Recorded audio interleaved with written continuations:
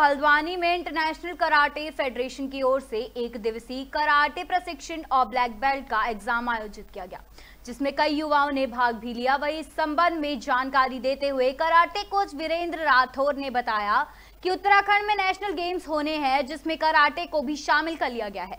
लिहाजा अब यहाँ के युवाओं के लिए कराटे में अपना जौहर दिखाने का मौका है, जिसके लिए वह लगातार युवाओं को तैयार कर रहे हैं। बता दें कि कराटे के एग्ज़ाम में कई युवाओं ने शानदार प्रशिक्षण लेते हुए ब्लैक बेल्ट हासिल की है, जिनको कराटे के मास्टर के रूप में, कनाडा के मुख्य अतिथि के रूप में योगेंद्र चौहान ने प्रमाण पत्र देकर सम्मानित किया। हल्द्वानी से दीपक अधिकारी की रिपोर्ट।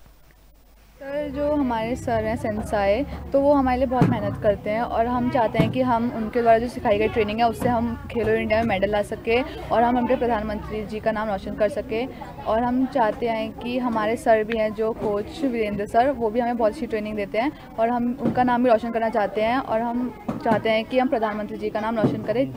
हम जी ने जी ने खेलो इंडिया स्कीम कराई है तो उसमें हम लोग ये चाहते हैं कि ज़्यादा से ज़्यादा लोग उसमें पार्टिसिपेट करें और नरेंद्र मोदी जी का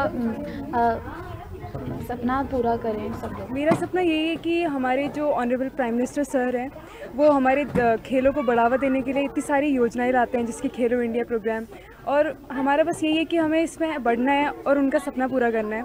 अब जैसे कि उत्तराखंड में ये जो अड़तीसव, अड़तीसवा नेशनल गेम्स हो रहे हैं। उसमें हम चाहते हैं कि हम पार्टिसिपेट करें और हमारे उत्तराखंड का ही नहीं, बल्कि हमारे पूरे भारत का नाम रोशन करें, क्योंकि हमारे प्राइम मिनिस्टर सर इतना कुछ, सब कुछ कर रहे हैं हमारे लिए।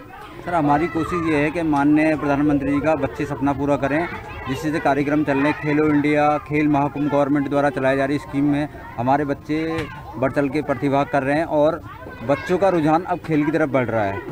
अब पहले जैसा नहीं आता उनके पढ़ेंगे, लिखेंगे, तभी नवाब बनेंगे। अब तो पढ़ेंगे, लिखेंगे, बनेंगे स्टार का नारा चल रहा है। तो हमारे जो बच्चे हैं, खासकर लड़कियाँ, आगे चल के बहुत अच्छा प्रमोशन कर रही हैं, अंतर्राष्ट्रीय लेवल पे, राष्ट्रीय लेवल पे, और अपने राज्य का नाम रोशन कर रही हैं, मेडल लेके आ रही हैं।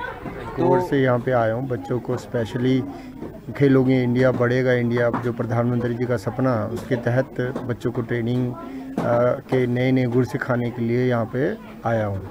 जैसे कि यहाँ के बच्चे ऑलरेडी कई नेशनल और इंटरनेशनल राष्ट्रीय अंतर्राष्ट्रीय स्तर पे परफॉर्म करते रहते हैं और मेडल जीतते रहते हैं। उत्तराखंड का नाम जो है हल्द्वानी का नाम आगे बढ़ाते रहते हैं। अभी कुछ दिन पहले कॉमनवेल्थ में भी हमारा यहाँ का प्लेयर है चेतन भट्ट, जिसने कि इंडिया को रिप्रेजेंट किया था, मेडल भी जीता था।